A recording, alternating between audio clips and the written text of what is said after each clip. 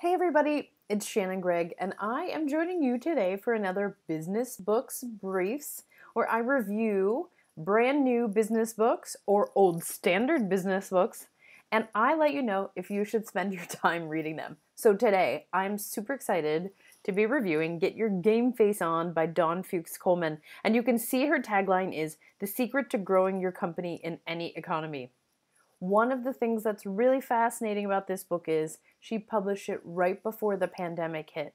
And I don't know if Dawn has some secret vision that she's able to look into the future, but she gave a ton of tips in here that have been really helpful for me in my company during this time of sort of economic instability with a global pandemic occurring. So I want to share with you some of the things that I found really impactful about Dawn's book. And spoiler alert, I am going to tell you to get yourself this book. so Dawn does a really good job of talking about leadership and things that your employees want. And she's got checklists that show you exactly how to make sure that you're doing the right thing by your company, by your employees.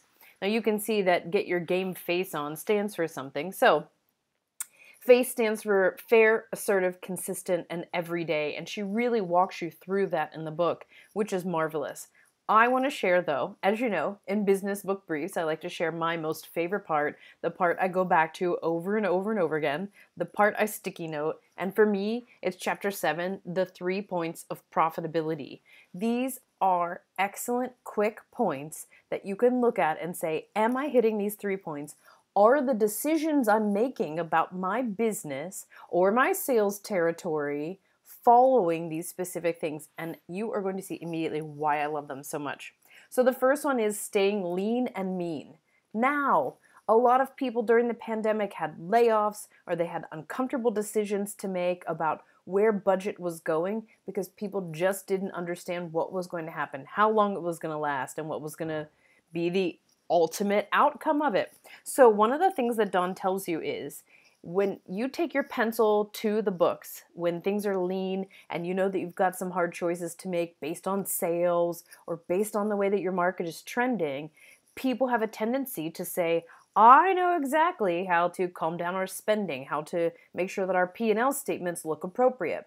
One of the things that Dawn recommends to you is that you stay lean and mean even when times are good. So use that same very focused approach to the way that you run that P&L, that EBITDA, make sure that you're staying lean and mean all of the time. The second one that she tells you is install dashboard lights.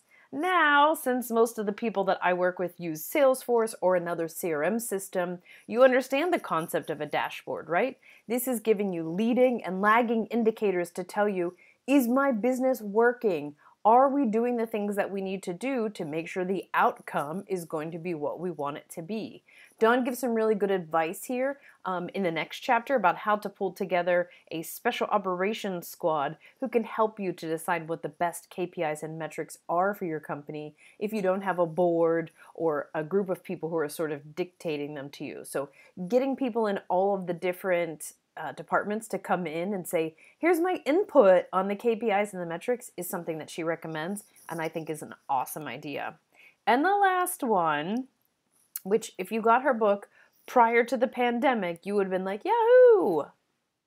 Retaining cash at year end. So, sure, you may have loads of cash left over. And Dawn tells a very good story about her father, who was a business owner, and the way that cash at the end of the year would be used. And I'm not going to spoil that for you because I think you should read it. And she changed the philosophy on that in the company. And making sure that you've got that sort of rainy day slush fund is great for both personal finances and it's also really good for your business finances, right? Have that cash on hand in case something unexpected comes up so that you can make sure that you've got things in order and you don't feel stressed out whenever things start to change with the economy, with your market, with your products and services and your other offerings.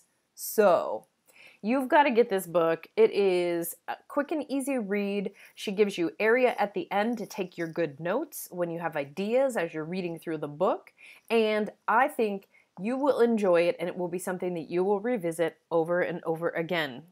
Hey, thanks for joining me today for Business Book Briefs. Please feel free to connect with me on LinkedIn. It's Shannon J. Gregg. You can follow me on Twitter, Shannon J. Gregg, or visit my website. My personal website is shannongregg.com, and my Salesforce consultancy is cloudadoption.solutions. Thanks, and have a great day.